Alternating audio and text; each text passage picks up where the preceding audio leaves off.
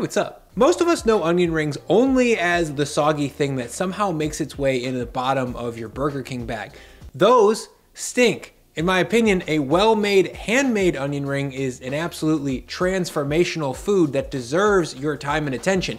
Today, I'm gonna show you two different ways to make them at home, including two super easy to make sauces to dip them in. The first style of onion ring that I'm gonna make is what I would call an extra crispy. Think of an Outback Steakhouse blooming onion, but obviously this one's not gonna be soaked up with oil and the breading will stick firmly to the onion. To get started, I'll need some onions. I've got two jumbo white onions here. I wouldn't recommend yellow because they tend to get too soft when they're cooked and they're overly sweet. To wring these things out, I'll start by cutting off the north and south poles of each bulb and then I'll grab a knife to make a score along one side. I'm being really careful to cut only one layer deep here. The outer layer isn't useful to me as a ring because it's slimy, thin, and papery, so I'll peel that whole layer off. Once it's cleaned up, I'll cut this onion into roughly four planks that are about three quarters to one inch thick, give or take. And when I get to that last plank, I'll lay the onion on its side flat and slice horizontally so that I can get a flatter, more even cut. Next, I'll grab one of these onion planks and pop out the middle half. This stuff in the middle is still totally usable for other dishes, but for obvious reasons, it's not going to make a compelling onion ring, so I'll set that aside and then carefully pop out the larger rings that are left. I'd say this innermost ring here is as small as you want to go. It's probably about two and a half inches across, give or take. If the rings are too small, you just end up with too many pieces, and hand breading all of them is a significant amount of work. Bigger looks cooler too. The last ring segment here is super thin and covered in that slimy papery stuff, so I'll lose that. Some people go out of their way to remove all of the inner onion membranes on these things, but in my trials I found that it didn't really make a difference, so if you just bread and fry these properly, you shouldn't have a problem. Once I've got 16 to 20 of these large rings pulled apart, I'll grab a medium bowl to make the breading. That's 400 grams of all-purpose flour, 150 grams of cornstarch. The cornstarch helps keep excessive gluten from forming in this breading, and it helps absorb some of the moisture that comes off this food while it's cooking. Both of these factors lead to crispier fried foods that stay crisper for longer. Behind the starch, I'll add in 6 grams of baking powder, 2 grams of paprika, 6 grams of salt, and 3 grams of coarsely ground black pepper. Next, I'll grab a whisk, jump into the bowl, and stir everything to combine. Once it is, I'll grab two small containers and into one I'll add 300 grams, about 2 to 3 cups of buttermilk, and into the other I'll add the same, about 2 to 3 cups of all-purpose flour, no seasoning, just plain flour. To bread these, I'll grab an onion ring and drop it into the flour. From there, I'll give it a light toss to coat and then shake off anything excessive. This base dusting of flour really helps the buttermilk stick to the onion, which helps promote onion breading bondage, which is crucial. Next, the ring is to get swirled around to coat in the buttermilk, then I'll let anything excessive drip off, and then I'll move the ring over to the breader that we just whisked up. I should mention that I have separate forks for each bowl to keep the dry and wet stages as separate as possible. Breading can be extremely messy if you don't work to keep things apart, and this really helps. Once I've got a good base of breading on this ring, I'm going to give it a firm shimmy to remove anything excessive, and then I'll move it over to a sheet tray to hang out while I bread the rest. Now, a single breaded onion ring can work, but the main issue here is coverage. If you have exposed onion, the oil the ring is frying in will slip in between the onion and the breading, and that's going to give you a super saturated, greasy disappointment. So, to ensure proper coverage, I'm going to bread these a second time. To do that, the onion's going to go right back into the buttermilk. I'm going to skip the flour dredge here up front, and I'll let anything excessive drip off, just like I did before, and then into the breader it goes. It's very important to keep extra buttermilk out of the dredge if you can. After 18 rings on the first round, inevitably some of that milk got in and clumped things up.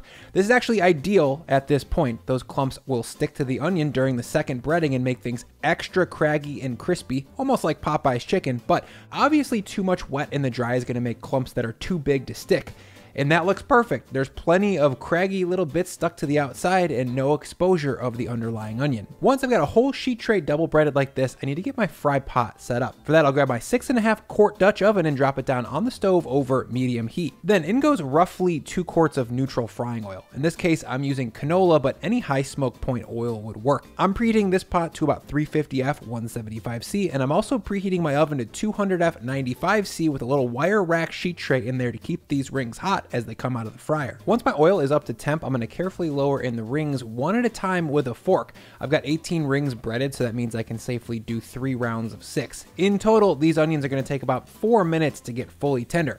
As soon as all my rings are in the oil, I'm going to come back with my spider to make sure they're not stuck together or to the bottom of the pot. A gentle jab here is more than enough pressure. If you touch these too much at this point, you could risk debreading them, and that would be a bummer. After the first two minutes of frying, I'm going to come back with a fork and carefully flip these over to make sure that they're getting crispy and golden evenly on both sides. As these get closer to being done, less and less moisture is going to be escaping and the bubbles will start to slow down and shrink like this. After four minutes of total fry time, when I lift one of these onion rings out of the pot, you can see that it's slightly golden brown and very well crisped up. Now I'm going to move this one and the other five to my rack in the low oven to stay crisp, and then I'm going to drop my next six. While those are finishing up, I think it's the perfect time to make myself a little cocktail from the sponsor of this video, Shaker and Spoon. Shaker and Spoon is a monthly cocktail subscription box where you BYOS and then they send you everything else you need to make bar quality cocktails at home. I'm a Negroni guy, so I went with the Negroni 2 box this month. The box came with three different drink recipes, in this case, all using gin, and they send you enough ingredients to make four drinks per recipe. That's 12 per box. I'm feeling the Frutta e Fiore cocktail today, so to make that, I'll add my Campari, my tea infused gin. To make that, I just shook my gin with this hibiscus tea bag that they sent along and let it sit for a few minutes. Next, in some strawberry syrup and balsamic vinegar, all on top of ice, and I'll give it a shake. Pour over some ice, and I'll finish that with a spritz of the included Tulsi Basil Hydrosol over the top.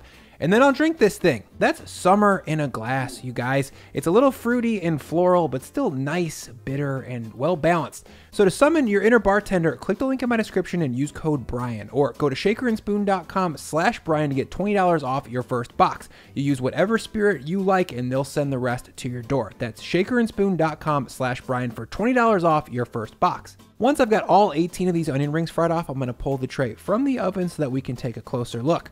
Okay, wow, these rings are looking super craggy and they're what I would consider to be perfectly golden brown. But before I snap into one of these things, I'm to need something to dip it in. How about a smoky chipotle ranch? To make that into a high-sided container, I'll measure 125 grams of mayo, 50 grams of sour cream, 15 grams of lemon juice, one pressed garlic clove, 15 grams of the hot sauce of your choice, I likey Frank's, then one chipotle chili in adobo. My immersion blender goes in and I'll spin it all up to break down the chili. You could skip the blender here for sure and just mince the chili really finely and then stir everything to combine.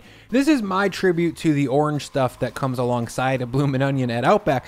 Obviously, I think this tastes better. It's fresh, it's smoky, it's bright, and just a little bit creamy. It's incredibly easy to make, and I think it's perfect for a fried onion. If smoky hot isn't your thing, here's a quick variation. Combine the same amount of mayo, sour cream, garlic, and lemon juice, stir or puree that to combine, then add in 10 grams of minced chive and 10 grams of chopped fresh dill. Now you've got an herby, fresh ranch dressing that is very appropriate for anything crispy and fried. To me, this ring right here has achieved everything that I could want in a fried onion.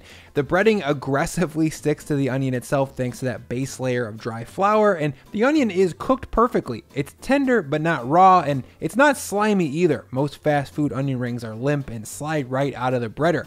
Oh, and by the way, these things stay crispy for a while. This is me snacking on it 40 minutes after it came out of the oven. Okay, style two, also very crisp and great in its own way, but instead of using breading, we're gonna use batter, specifically a beer batter.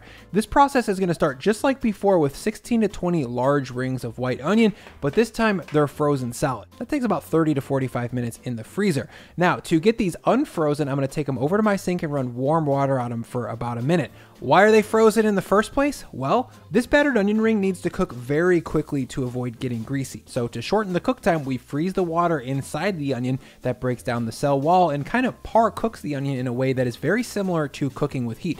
Next, I'm to use some paper towel to dab off any excessive water sitting on the outside because extra water in hot oil boils instantly and creates a very frothy, violent situation that can get kind of dangerous.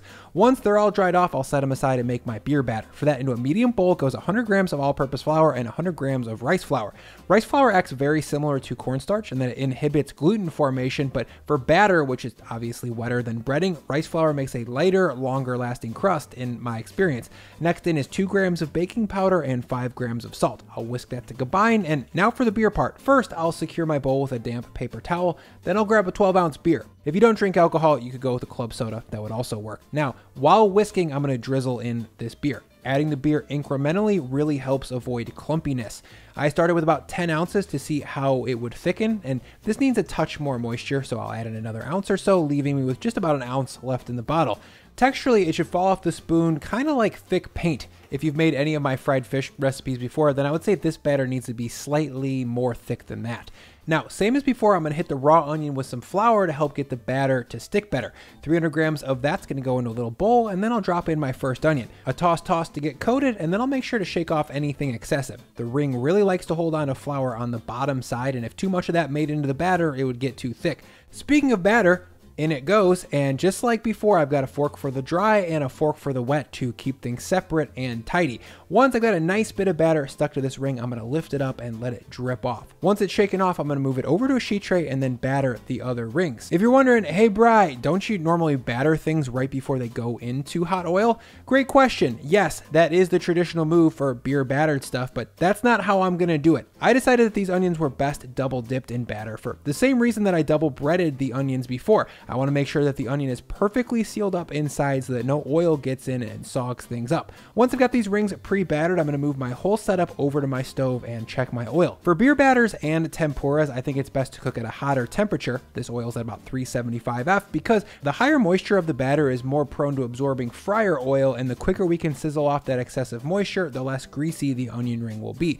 Now to get these rings into the fryer, I'm going to drop them briefly into the all-purpose flour one more time. I really don't want a ton of that to stick though because too much will make things cakey and kind of heavy. So shake off whatever you can and then next I'll lay it into my batter one more time. I'll toss that back and forth to get it covered, lift it up, let it drip, and then shake off anything excessive. Lastly, I'll carefully drop this ring into the oil by laying in the bottom and then letting it naturally fall off my fork. This helps ensure ring roundness because these rings are kind of floppy, and if you just lay them in willy-nilly, you'll get oblong shapes.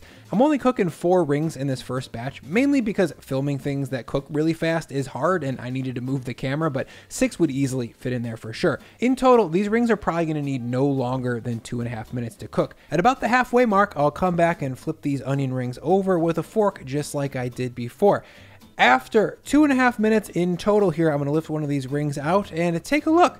It looks kind of like a donut, an onion donut, and I love it. Once I've got 18 cooked rings, I'm going to pull them out of the oven so that we can take a closer look. As you can see, that batter has set into a hard, glassy, but super light crust that's not oily at all. That's the challenge with beer batter. When it's cooked right, it's transcendent, but when it's cooked wrong, it's a greasy gut bomb that I want nothing to do with. How about a little dip in that dilly chive ranch dressing that I showed you guys before? Don't mind if I do. The flavor of this ring is yeasty, it's malty, and just a touch sweet. The batter is super stuck to the onion, which is a detail that I really can't stress enough making a difference. Oh, and listen to this crunch. It's cartoonish.